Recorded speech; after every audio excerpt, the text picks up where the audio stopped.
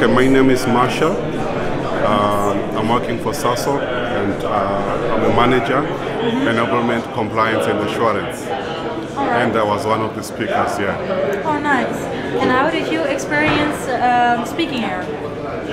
It was a good conference so far uh, from yesterday, today, and the speakers as well. It was really good and uh, different perspectives, different uh, presentations, and uh, can show that the presenters are well researched as well Yeah. and well experienced. Yeah, so you enjoyed the other speakers? No, I really enjoyed other speakers and learning from them as well. Good work from all one who has been presenting. Perfect. And what did you think of the quality of the presentations?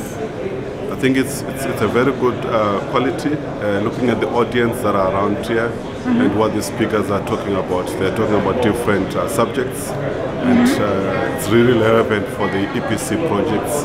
And I guess everyone who walks out of here Yeah. has got something to learn. Perfect. And uh, did you get to meet any of the other speakers or any other interesting persons here? Yeah, we interact during breaks, during tea time, lunch.